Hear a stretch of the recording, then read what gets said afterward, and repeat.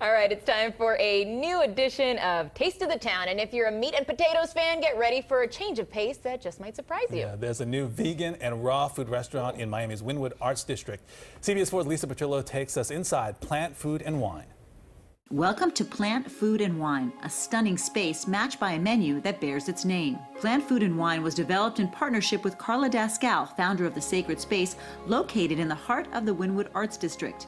It's a cutting edge concept. Everything is plant based or vegan and raw. Chef de cuisine Horatio Rivadera trained under owner renowned chef Matthew Kenney, who has another eatery under the same name in Venice, California. So let's talk about the people out there that are going to say, my cameraman included, raw, vegan, what? Should we be afraid? No way, no way. We're going to feel full. We want uh, first of all, uh, this is a restaurant mega thinking for everyone, you know actually our customers, uh, 60 or 70 percent of our customers are no vegans or no vegetarians. Uh-huh. Okay, they're enthusiastic about our food, and they come and try our food. They blow away. The mission of Plant Food and Wine is to offer health and wellness through delicious food in a luxurious environment. So there's a real art to this food. It is. It is. I, I, it's a lot of process to make this food. Sometimes. Uh, uh, we think vegan roll is something simple. Just mix some Salad. salads and cucumber, and that's it.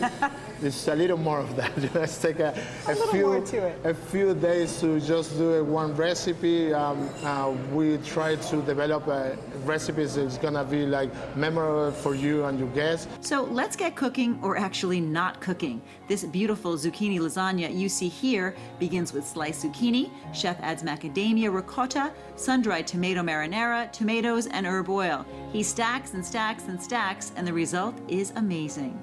Carnivores don't be afraid. You're gonna love this. The kimchi dumplings begin like this and end like this. The cilantro with the coconut meat. Okay. And then we're gonna just put it over here in this uh, okay. sheets, and we're gonna dehydrate for six hours and 115. Chef fills the dumplings with fermented red cabbage mixed with cashew nuts, ginger, and chili to make the paste. And here they are.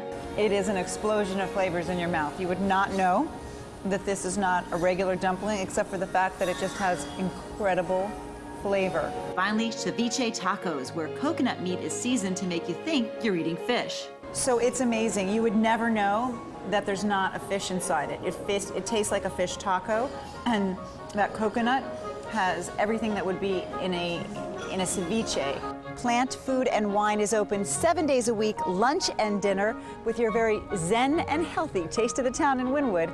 I'm Lisa Petrillo, CBS 4.